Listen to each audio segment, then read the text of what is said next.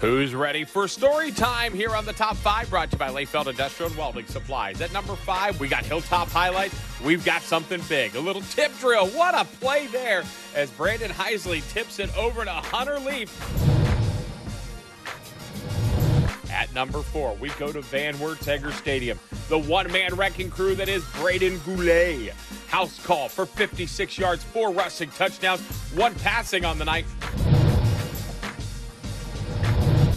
At number three, we head to Walling Post Athletic Conference. Marion Locals Drew Louse fields the kick and takes it back to the house. You see him right there avoid a slew of St. Henry Redskin defenders. Gets a great block there to take it into the end zone. Marion Local is still undefeated.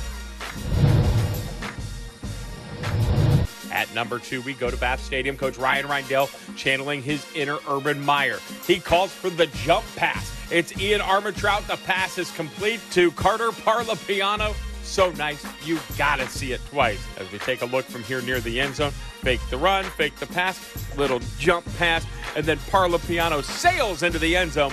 Bath is now 3 and 1. At number one, we go back to Eggerss Stadium. Aiden Pratt going to get the hookup with Garrett Gunner, a 73 yard bomb. Pratt 22 of 28, 315 yards, four scores. He's completed 83% of his passes on the year with no interceptions. The Cougars are 4 0 and oh state ranked at number one in Division 4.